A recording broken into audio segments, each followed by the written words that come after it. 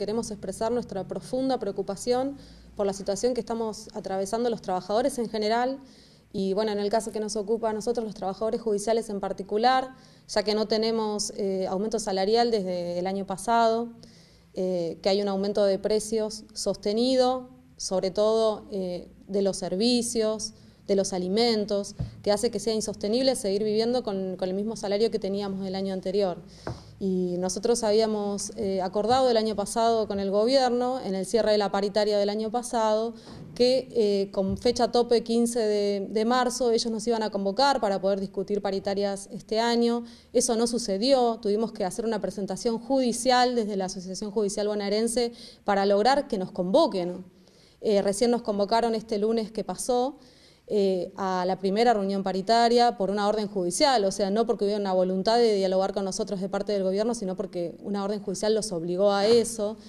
Eh, en esa reunión, donde no se presentó ni la gobernadora ni los ministros, sino funcionarios de, las carteras que están en, juego, que serían, ¿no es cierto?, la cartera de trabajo, de justicia, nos ofrecieron un 15% en tres cuotas, eh, en un país donde la inflación esperada eh, es del entre un 25 y un 30%, y encima sin cláusula de, actualización, ¿no es cierto? Sin cláusula gatillo que nos permita garantizar que ya no un aumento de sueldo, sino que no vamos a perder la, capacidad que tiene hoy de nuestro salario. Eh, entonces, bueno, estamos muy preocupados por esta falta de voluntad del gobierno de dialogar con nosotros. Nos fuimos de la reunión rechazando la propuesta, pero además sin una nueva fecha de reunión.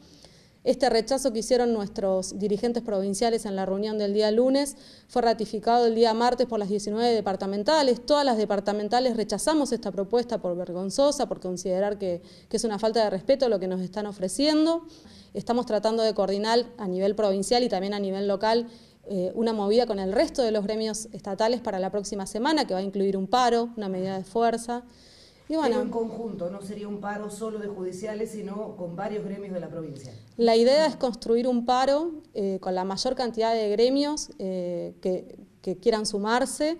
Creemos que es un momento en que es necesaria la unidad, un momento donde los trabajadores, para salir de esta, tenemos que estar juntos, porque los trabajadores judiciales somos los que motorizamos todos los días los juzgados y nosotros además no estamos reclamando eh, solamente salario, también estamos reclamando mejores condiciones de trabajo y una justicia que esté a favor del pueblo, ¿no?